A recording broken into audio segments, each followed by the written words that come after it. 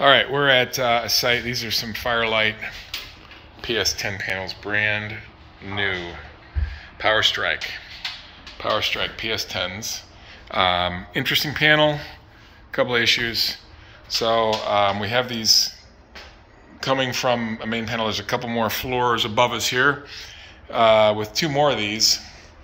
So we're using this to trigger, in this case, these are general NACs. And these four here are sounder bases for intelligent sounder bases, Silent Knight. That's auxiliary power for a door holder. And it's nice that it shows you that the uh, outputs are active with the red light. That's a very nice feature. Um, but a little couple of little quirks. So, so number one, this is their sounder base coming in right now. Sounder base sync from the main panel hits this one first. So you wouldn't know this, but it's, we get these end of lines here. I'm not pointing very well. So in plus and minus is in the middle there, but, but in this particular case, the bottom is minus and the top is plus on the EOL side. So that's why we had to reverse those wires around because we were getting short circuits on this and we are like, what the heck? Um, this one doesn't have any general alarm, um, this one does. So originally we had this connected through too, going floor to floor. This is the, the trigger for a general NAC alarm. And it was having the same problem, so, but then we reversed them, which, which cleared it. So we had, we went from panel to panel to panel with the end of line at the, the top floor panel. The problem was if we put this panel in trouble, so we put this in trouble, like right now. So we just put that general NAC circuit in trouble. And what it does is it opens this up like you would expect on any other panel. It opens that up and you get a trouble on that circuit. And with other NAC panels, my experience is when this goes into alarm then, the panel recloses this so any downstream panels get powered up for the alarm condition. Um, this one doesn't reclose on alarm. When we put this in alarm, that does not reclose. So basically like this is the second floor. It'll actually activate, you know, even though there's a trouble out there, it'll, it'll put voltage out on these. But the third and the fourth floor do not activate. So that's kind of a serious flaw. The way we fix it is we put control modules in. So now our source from our fire panel hits the control modules, EXT power in, configured as sounder base sync. So it's constant power coming in, sounder base sync. End of line for that is that, well, there's no end of line anymore, but it just hits the three floors of control modules. And then each control module has its own end of line. So they're, they're individual and they're supervised individually. You know, it's, it works fine like that, but um, obviously we have to use three control modules. We just have no choice. So it kind of adds, you know, 80 bucks or something to the price of these in comparison to the competition.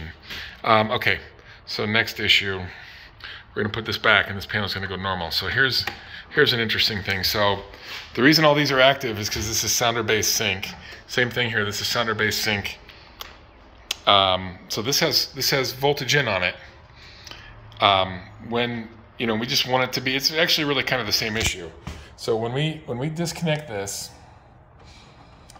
so that kills the NACs. It kills kills them. So those are sounder base power out is gone. This one's gone. The door holder is still active because that's just programmed through the dip switches.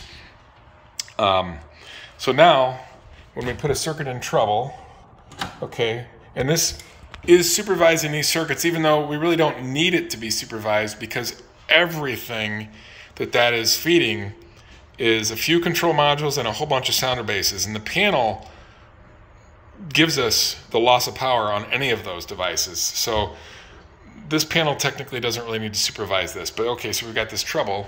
This one's still off. So here's the interesting thing. I put the power back. It's, it's kind of the same issue. So I've put it back. This one activated, see? This one, um, this was in trouble before. See, that's still in trouble. It stays in trouble. It doesn't check for that trouble. Well, it does actually. Oh, here, let's even put it back. We'll put it back. We put it back and it stays in trouble. It doesn't clear that trouble. Doesn't clear that trouble. And this is still open, even though it's got positive voltage in there. And the upstream panels, they're all they've all lost their power. So there's no power to this one or the two up up above us. Uh, this is this one is feeding the the sounder bases on the first floor, second floor, third and fourth above.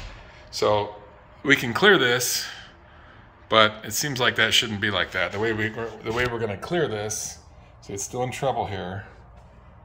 Still in trouble. We just take the power off and then give that a couple seconds. Now the trouble cleared. And now we can put this back in. Put that back in. And now there's no trouble, so this relay is feeding power through.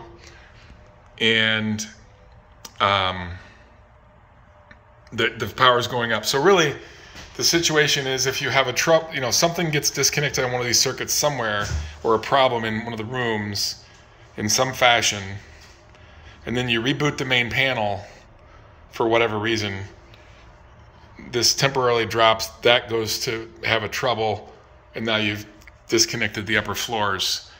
So it's a little tricky, but um, I mean, it's solvable. But that should these re, these should re-engage, or they should re-engage, and this one should too when power is applied, uh, like when it's triggered. Anyway, that's it for this video.